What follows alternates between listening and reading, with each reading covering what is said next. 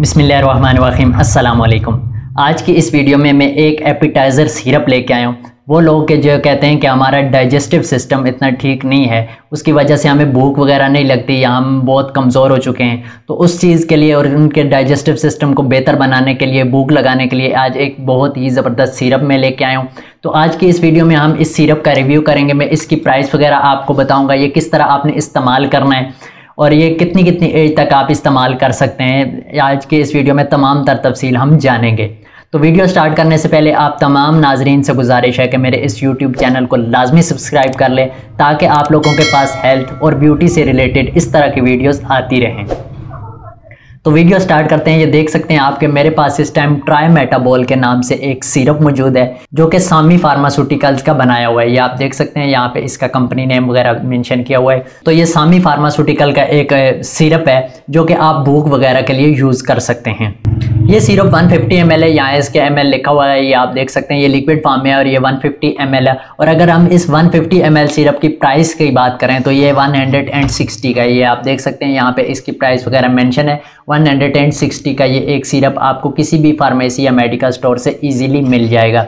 तो अगर हम इसमें मौजूद इंग्रेडिएंट्स की बात करें, अगर यानी कि कौन कौन से इसके अंदर फार्मूले यूज़ किए गए हैं तो ये आप देख सकते हैं इस साइड पे इसके तमाम तर फार्मूले लिखे हुए हैं। इसमें सबसे पहले नंबर पर है मेटोपाइन जो कि 2.75 mg इसमें मौजूद है। इसके बाद इसका मेन इन्ग्रीडियंट जो है, वो एल लाइसन है, जो कि भूख वगैरह के लिए काम करता है। ये इसके अंदर जो है, वो टू मिलीग्राम इसमें ऐड किया गया है। इसके बाद इसका है डी एल इसके अंदर मौजूद है, जो कि थ्री मिलीग्राम है। इसके बाद इसके अंदर ये वाइटामिन बी मौजूद है बी वन इसमें है थर्टी मिलीग्राम बी सिक्स जो है वो भी थर्टी मिलीग्राम है। इसके बाद इसमें वाइटामिन बी है जो कि वन थाउज़ेंड माइक्रोग्राम है। इसके अगर हम अंदर से खोल के ये देखें तो ये आप देख सकते हैं कि इसके अंदर इस तरह की एक बोतल होगी। ये देखें आप इसके अंदर इस तरह की एक कांच की बोतल मौजूद है।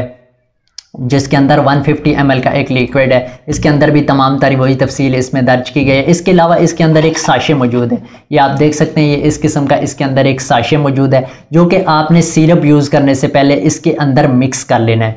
ये साशे मिक्स करने के बाद आपने इस सिरप को जब तैयार हो जाएगा तो आपने बनाने के बाद 21 डेज़ तक इसको यूज़ कर सकते हैं। यानी कि ये जो साशे इसके अंदर है, ये सिरप के अंदर डालने के बाद आप इसको 21 21 दिन तक यूज़ कर सकते हैं। और अगर हम इसकी डोजेज वगैरह की बात करें तो ये आप देख सकते हैं, इस साइड पे इसकी तमाम तर डोजेज दर्ज की गई है। अगर आपको नज़र आ रहा है, वैसे मैं आपको पढ़ के भी बता देता हूँ कि one to two tablespoon जो है वो इसने तीन टाइम डेली अडल्ट ने यूज़ करना है। इसके अलावा चिल्ड्रन जो है, वो ये ग्रुप वाइज इन्होंने एज वाइज इन्होंने दर्ज किया है कि अप टू टू ईयर जो है, वो एक टीस्पून जो है वो डेली तीन टाइम यूज़ करें। इसके अलावा टू टू फाइव ईयर्स के जो बच्चे हैं, एक से दो टीस्पून जो है वो तीन टाइम यूज़ करें। इसके बाद five to twelve year two to three teaspoon जो है वो तीन टाइम यूज़ करें।